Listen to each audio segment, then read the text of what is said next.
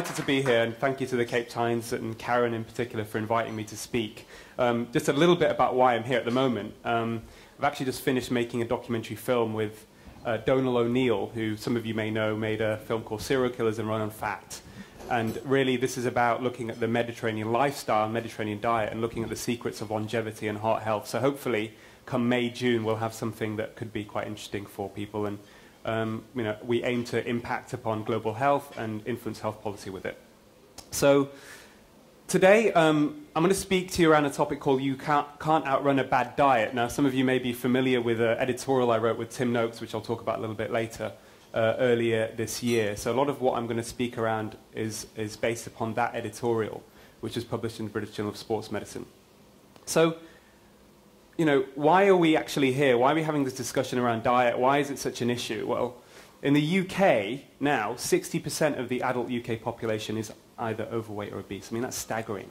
And that figure, I mean, I've given this talk, you know, and, and presented these stats many times in the last couple of years and it still never ceases to amaze me. And for me, perhaps more disturbingly, one in three children in the UK, by the time they leave primary school, by the time they reach 11, are also in the same category. According to the UK Foresight report, if we do nothing, 90% of UK's adult population will be in the same category by 2050. Obesity alone is costing the NHS around £6 billion per year.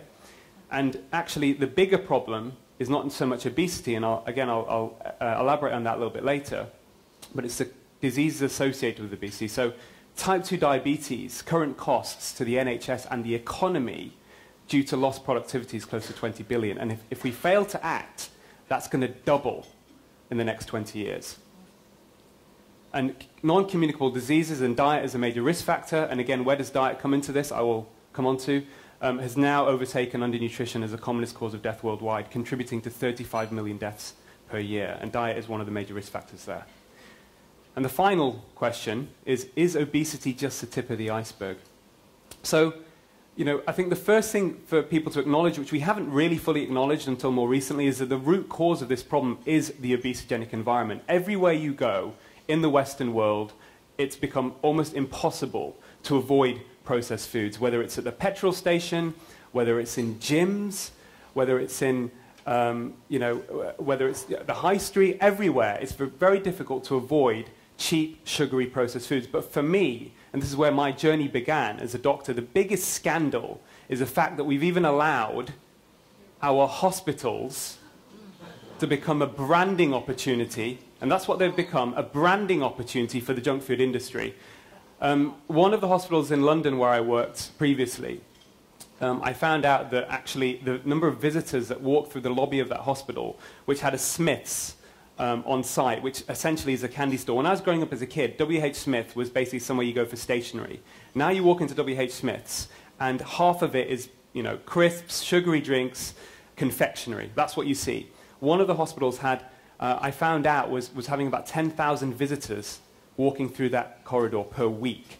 And actually, the science tells us that does make a difference. So, um, in, in, in the United States, a study showed that pediatric, pediatric institutions that had junk food on sale on site, visitors who went to that institution or those hospitals were four times as likely to purchase junk food when they left the hospital than people who'd never visited the hospital in the first place. So it does legitimize the acceptability of these foods. And even hospital trolleys. So, you know, uh, I've been on ward rounds um, and treating pa patients with heart attacks, and if you have a heart attack, you know, conventionally you should be bedbound really for the first 24 hours. So even patients who are bedbound are being brought to them, you know, sugary drinks, chocolates, and crisps, because there are contracts with the hospitals that ensures that these products are brought to the patients by their bedside. And we talk about education, you know, some of the arguments which I'll talk about in a minute used by the food industry um, and other co-opted members who, you know, who support their messages talk about it's about education. Well, listen, one, the education is wrong. We know that the current dietary advice has actually been a root cause of the problem. But 50% of NHS employees, of nurses and doctors, are actually overweight or obese. So that in itself tells you that education is ineffective when the food environment is working against you. And this perpetuates a revolving door of healthcare. So Theresa Marteau, who's the director of Behaviour and Health Research Unit in Cambridge, actually is a brilliant scientist, and she's looked at food behaviour and Uh, and what she says is food choices are often automatic and made without full conscious awareness. And that again comes back to the environment. So, you know, despite wanting to lose weight, we're still tempted to buy that brightly colored chocolate bar at the checkout till. And the food industry know that, and they place their products specifically, and they pay uh, retailers um, uh, large amounts of money to have their products in certain positions. And again, a lot of this is just cheap, sugary junk food. made worse by the aggressive marketing, this whole problem is made worse by the aggressive marketing by the junk food industry, who target children and the most vulnerable. Um, in the United States, junk food advertising alone, you know, the food industry spends $4.2 billion a year. And just to put this in perspective, for every one, the balance of power, for every one pound the World Health Organization spends in trying to prevent chronic diseases, the food industry spends 500 pounds in marketing junk food. That's the balance of power, ladies and gentlemen. That's where we're at. And this is important. You know, anyone, I'm sure many of you here in the audience are parents, and pester power through advertising is, is extreme, you know, is a, is a big issue for uh, parents who are trying to give their children healthy food. Um, and you know, School Food Trust did a great survey in the, in the UK and found that 72% of parents actually felt that this advertising had a significant impact on pester power.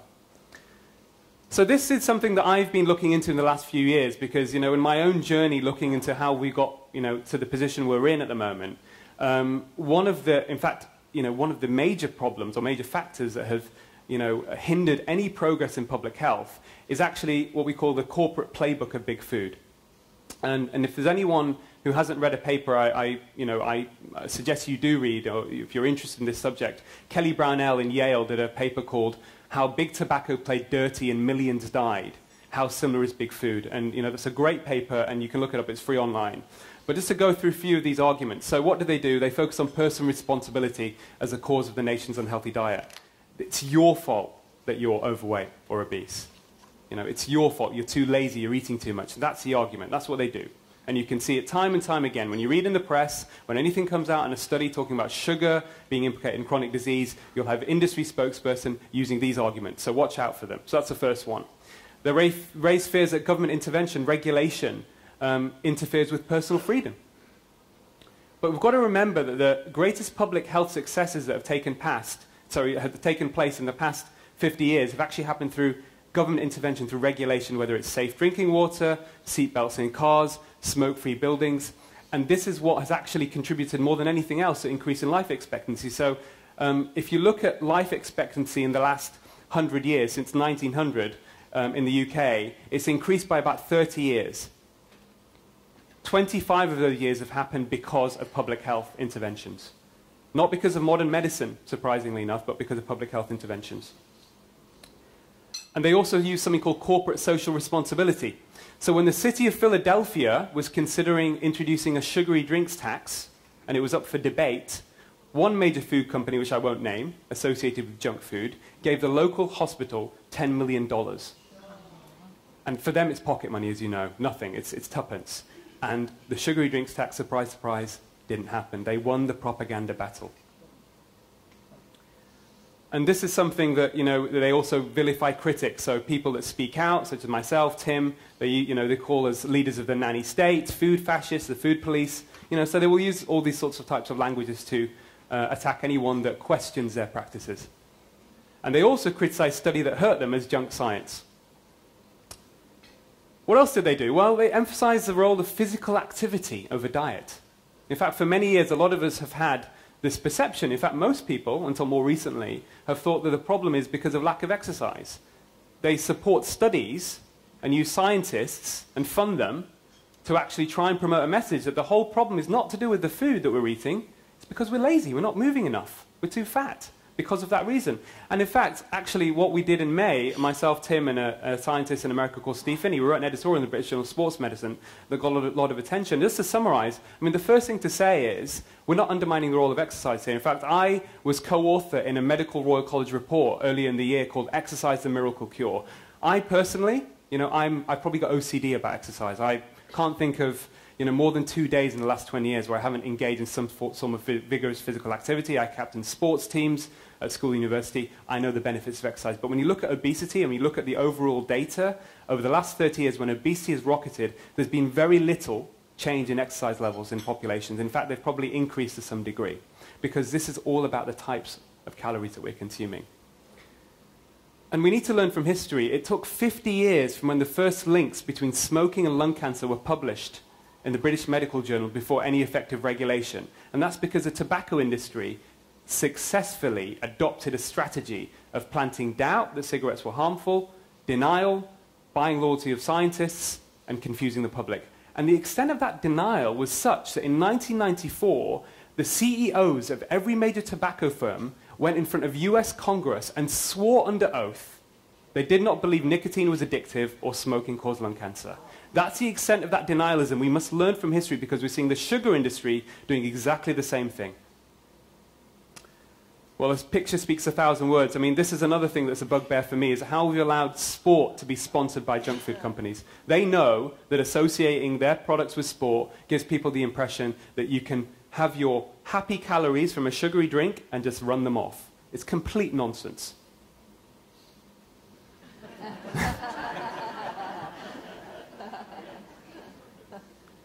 so putting this all in perspective, where does diet actually fit in into the global burden of chronic disease? So, some very good analysis done by Simon Capewell in the University of Liverpool in the UK. He's a clinical epidemiologist. Looked at the Lancet Global Burden of Disease reports at the 20 major risk factors for disease and death. And actually, what we, what we know is that poor diet now contributes to more disease and death than physical inactivity, smoking, and alcohol combined. I'm a cardiologist, so let's give you some facts on cardiovascular disease. I don't want to overload you with too much information, but essentially cardiovascular disease is still the number one, one cause of death globally. It's about 20 million deaths a year at the moment. Uh, and you know, what's probably quite disturbing is that half of those deaths occur prematurely, and that's in people under the age of 65. 80% of cardiovascular disease, however, is lifestyle related. It's, it's related to an unhealthy diet. Of course, genetics has a role, but this is largely modifiable by lifestyle changes, which includes, obviously, doing regular exercise, stopping smoking. But diet is the most important factor when it comes to heart disease. So I just want to show you this slide because it's quite important to get this concept uh, into your minds. And this is something actually we cover a little bit in our documentary. Is I just want to show you, so this is a normal coronary artery. So this is the arteries that supply heart muscle with blood are known as coronary arteries. This is nice and clear. And here we have what we call a, traditionally known as a fatty deposit, which is basically a, um, a collection of lipid cells, uh, inflammatory cells that builds up over a period of time. This is called a, a plaque, and this is a narrowed artery. Now, for someone to get symptoms of angina, which is pain in the chest with exercise and stress, that usually the narrowing has to be at least 70%. The narrowing itself doesn't cause, doesn't kill you. It can give you symptoms, that doesn't kill you. What kills you is a sudden occlusion of this artery, which happens within minutes. And that's called an acute thrombosis because what we call plaque rupture. And another thing that's very interesting is most cardiac events, people have heart attacks, don't have significant narrowings. They're not over 70%, they're less than 70%. So a lot of people who present with heart attacks actually present for the first time with chest pain, come into hospital, they've had no history of angina whatsoever probably about 50% of those people. So I just want you to just understand that for a second because the, the time frame for this, for coronary artery disease to develop, actually the, the atheroma takes many decades. And we know that um, because you know, uh, autopsy studies in obese children, we can see fatty streaks developing. Uh, autopsy studies in uh, war veterans, for example, we know that it starts earlier on. But it does take many, uh, many decades to, to progress, and most heart attacks usually occur in people over the age of 60. But the perception is that process, if it takes a long time to develop, the reversal will take a long time as well. And that's completely incorrect. In fact, we know very, uh, there's very good evidence that actually by changing one's diet, and in fact from smoking data, and I'll present some of that in a second, that you can rapidly reduce one's risk of having a heart attack, even if you've already had a heart attack. And that can happen within weeks to months. Um, so just to give you some examples, which I, I still think is extraordinary, in 2002, a place in the United States called Helena, Montana, introduced smoke-free legislation. Within six months of smoking bans, public smoking bans, there was a 40% reduction in hospital admissions for heart attacks. And the reason that is, is that smoking itself, passive smoking, increases platelet activity. So I talked to you earlier about the, the coronary artery, that basically you're increasing the clotability of the blood. When you take that out in the environment, that clotability reduces. So people's heart attack uh, the, the levels of heart attack went down significantly. Anyway, um, unfortunately, when the law was rescinded, after the tobacco lo lobby weighed in, the admission levels of heart attacks went back to preceding levels. In Scotland, 2006, we had smoke-free legislation, about 17% reduction in a year of people being admitted with heart attacks, uh, and a reduction out of hospital cardiac arrests. Now, how about dietary changes? You know, there is not a lot of randomized control trial data on diet for various reasons, but the, the evidence we do have is actually very strong. And we know that um, heart attack patients that adopt um, a diet which was high in fatty fish actually had a 29% reduction in all-cause mortality within several months just from having fatty fish in addition to their regular diet. Um, there was also a study done in Italy which looked at an omega-3 pill. I'm not a big promoter of nutritional supplements, but it was interesting in this particular study, uh, within three months they reduced um, cardiac event rates, and within a few, you know, uh, within six or eight months, death rates were reduced just from taking omega-3 supplements. Okay, this is a, a, great study actually that was published in 2013 called the PREDIMED study, and this looked at the Mediterranean diet versus the standard advice to give low-fat advice randomized study in high-risk people, people who didn't have heart disease but at risk of heart disease, um, middle-aged, and basically the intervention group was supplements of extra virgin olive oil or nuts versus advice to follow a, a low-fat diet. And in fact, the low-fat Mediterranean diet actually was still quite healthy in comparison to the average Western diet. Uh, and just to give you the key points, there was a significant reduction in cardiovascular events, heart attack, stroke, and death within about 4.8 years. They had to stop the trial early because it was considered unethical to continue. But what's interesting here, if you just see these lines of separation, so this is a number of years as the trial progresses, and this is the event rate. Now, this is a control diet, which I must stress is a, still a rel relatively healthy diet. But the intervention group, the people that were uh, consuming at least four tablespoons of extra virgin olive oil or nuts, actually, the event rates started to separate within months. And what's interesting about this, when you look at the data, when you analyze the data after the study was done, this was independent of body weight. So there was no weight loss, significant weight loss between the two groups, and there was no change, significant change in cholesterol.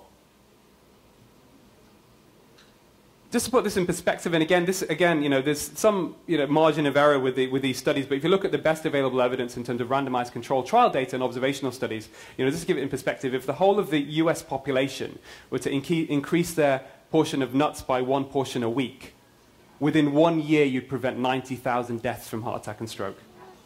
Food is medicine. Hippocrates was right. So when we look at this in a public health perspective, this is Tom Frieden's health impact pyramid, socioeconomic factors and changing one's diet is actually going to have, uh, by making the, the environment better and making people's default choice healthy, will have a much greater impact than counseling or education. So it's important that we acknowledge that, and obviously a lot of people don't realize that. We're looking at the bigger picture. This is an environmental problem, therefore it needs an environmental solution. Okay, a little bit about action on sugar. Um, so, you know, a lot of you here probably, you know, sugar has been in the mainstream media more and more. Um, a lot of very powerful advocates like Karen and Tim have been pushing this message for a long time. But just some very simple uh, things that the body doesn't actually require any carbohydrate from added sugar whatsoever. There is no biological requirement for it. That is irrefutable. And the fructose component, which I'll talk about shortly, is, is probably the, the, main issue here. And now we've got good studies implicating sugary drinks with weight gain and obesity. And this is something that has been neglected for a while until more recently. And I've been talking about this for some time, having spoken to some leading dentists. The commonest cause of chronic pain in children and the commonest cause of hospital admissions in children in the UK is tooth decay. The single uh, dietary factor most important by far is sugar. So even if you get, before you get into the whole science about obesity and calories, etc., sugar, just from the tooth decay point of view, is a real health hazard. And it also uh, affects adults as well. Um, what's the nutritional value of sugar? Well, there isn't any. It has no nutritional value whatsoever. Um, fructose is probably the, the causative factor around these chronic diseases because all cells need glucose although yeah, I'm sure we can uh, have a separate discussion about ketones, but you know, essentially, you know, the conventional wisdom is that glucose is required, um, but the, the actual impacts of sugar, added sugar, is probably the fructose component. And what the fructose does, it promotes liver fat accumulation and insulin resistance and the metabolic syndrome. So very briefly, the metabolic syndrome is the issue. It's not obesity. And the metab metabolic syndrome is any three of five of high triglycerides, low HDL, increased waist circumference, hypertension, and impaired glucose tolerance. And why is that important? Well, actually now, 75% of people admitted with heart attacks actually have a normal cholesterol. But 66% of those will have the metabolic syndrome. And if you have the metabolic syndrome versus someone who doesn't and you're admitted with a heart attack, you're 50% more likely to either die or be readmitted to hospital within a year. So it is a major problem. And how important is metabolic syndrome? Well, how many people have got it? Well, actually, this is a bit of a crude slide, and this is provided to me by Robert Lustig um, and referenced in Nature and an uh, editorial hero. But ultimately, the message is 40% of people with a normal body mass index actually will harbor the same metabolic, me metabolic abnormalities as people with obesity, the metabolic syndrome. 40%. So this isn't about obesity. You know, we're all vulnerable to processed foods and the effects it has on our bodies. So a bit of fiction here. So what did Coca-Cola say? They say beating a obesity will take action by all of us based upon one simple common sense fact. All calories count no matter where they come from, including Coca-Cola and everything else with calories. But the truth is, the science is, some calories cause more disease than others. Does anybody in this room seriously believe that a calorie of fiber, protein, fat, or fructose has the same metabolic uh, effect on our body? I don't think anybody does. It's ridiculous. It's nonsense. Yeah, this is a message that people keep talking about. Count your calories. It's absolute rubbish. In fact, it's been used by the food industry to market cheap junk food because we know there are less number of calories in sugar and carbohydrate than there is in fat. And that's what's been pr being promoted for the last 30 years. So people have been buying foods based upon low calorie, poor nutrient. You know, they may even be losing weight, but it's not about weight. You know, in my view, there's no such thing as a healthy weight. There's only a healthy person. That's the science. I'll just skip forward a little bit further because I know we're a bit short of time here. Um, just a, a, few other bits of evidence. this will all be summed up, the reason I'm going through this. So, very good study uh, done in, uh, uh, called the EPIC Interact study looked at sugary drink consumption in Europe, and they found that just one sugary drink uh, per day was associated with increasing the risk of type 2 diabetes by about 29% uh, excellent study here done by Stanford University researchers with Robert Lustig and Sanjay Basu. And what they did is they looked at sugar availability for consumption worldwide. We referenced it in our paper in the British Journal of Sports Medicine. What they found was, looking at 175 countries, for every 100 excess 150 calories of sugar that was available, typical of a can of cola, compared to calories from another source such as fat or protein, there was an 11-fold increase in the prevalence of type 2 diabetes. But crucially, this was independent of body mass index and independent of physical activity. You cannot outrun a high sugar. You cannot outrun a, a bad diet. I'll just skip forward a little bit because I know we're short of time. But essentially, um, in my own investigation the last couple of years, um, I looked at the sugar labeling actually in the UK. Um, and what I found, to my horror, and it still exists in the UK and the EU, the guidelines on the nutritional labeling actually suggest still that we should be consuming 22 and a half teaspoons of sugar as part of our guideline daily amount. And I was a bit baffled by this because I was looking at different bits of evidence. And I walked into a, a shop one day and I picked up a Mars bar and a can of Coke and I thought, this is interesting. Why does it say, you know, this can of Coke, this, um, this is 39% of your guideline daily amount of sugar? And if you look at um, America, you know, we know that about a third of sugar consumption comes from sugary drinks, but about half of sugar consumption actually comes from foods that people don't normally associate as being, being junk food. Low-fat, yogurts, breads, ketchup. And what happened was, somebody highlighted this, because in America they don't have a GDA or an RDA for sugar.